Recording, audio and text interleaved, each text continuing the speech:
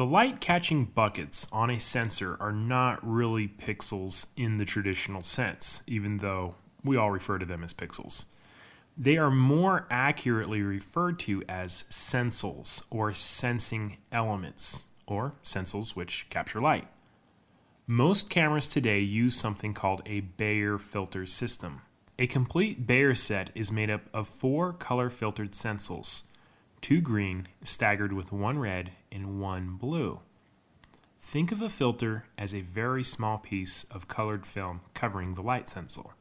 Its job is to prevent certain types of light from entering. So let me ask you this What do you think happens when different colored light hits one of these colored filtered sensors? If a red filtered sensor is exposed to a bright blue or green light the sensor cannot see it. However, red light can penetrate a red filter and the volume or the brightness of that light is recorded by the sensor.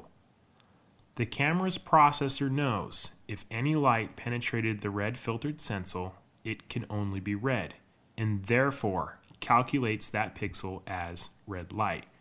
So the color calculation happens in the processor, not by the sensor itself. Blue filtered sensors will only capture blue light, and green will only capture green. For the rest of this lesson, we'll use colored water to show you what the processor sees. Just remember it starts out as an intensity of light, not a color. The information of red, green, and blue light, which makes up an image, is also referred to as channel information or channels. Now, I imagine you have several questions you know that when you magnify an image, you see several colors, not just red, green, or blue, but you also see yellow and orange and aqua and purple and pink. So you're probably wondering what in the world is going on. For every pixel we see in a digital image, nine sensors are involved in the calculation. One central sensor, which would be the position of the target pixel, as well as the surrounding eight sensels, which will contribute their information to the processor's calculation. Now, just for fun, say central sensel nine times as fast as you can. That, that should keep you busy for a little while. Now, let's simplify this a little bit and instead look at three sensels a red, green, and blue, with the middle sensel acting as the target pixel area. Now, we already know that if the sensels are exposed to red light, the target pixel will be red. If the sensors are exposed to blue light, the target pixel will be blue. And probably already guessed that if sensors are exposed to green light, the target pixel will be green. Okay, now those were pretty easy. What about yellow light? Well, yellow light is made up of both red and green light.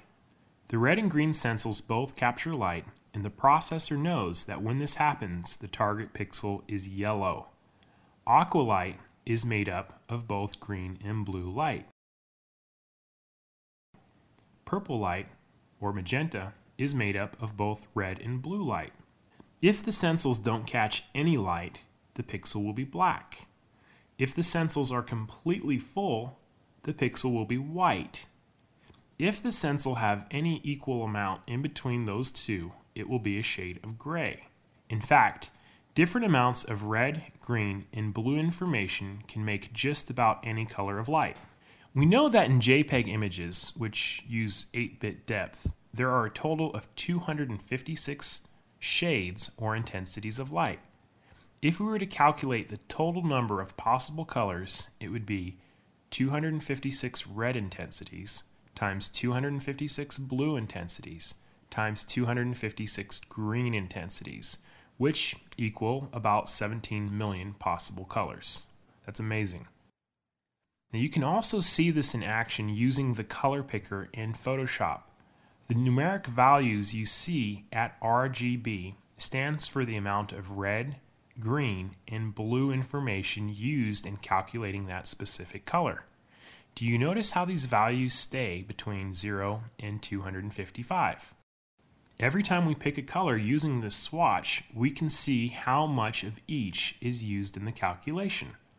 Black has all zeros, white has all 255s, and grays are all equal values. If we were to look at it in any other color, we can see how much each channel contributes to that particular color. Now we don't think about it much when we're working in Photoshop, but when we're using its tools to make adjustments, what we're really doing is changing the pixel's appearance by reassigning the input information. We're changing these numbers. That's what Photoshop does when we when we make adjustments. And I think that's a pretty cool concept to know.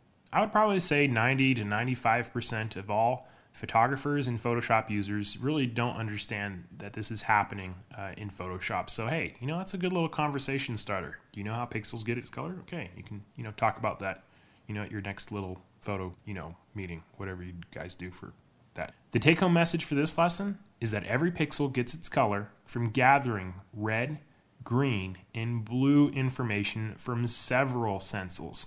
And it's the processor that's able to piece this information together and decipher the proper color for a pixel. It's pretty much amazing, if you ask me.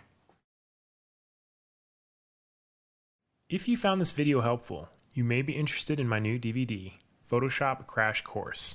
I'll not only teach you the most important tools in Photoshop, I'll teach you how to think in Photoshop. It can be ordered from the following link.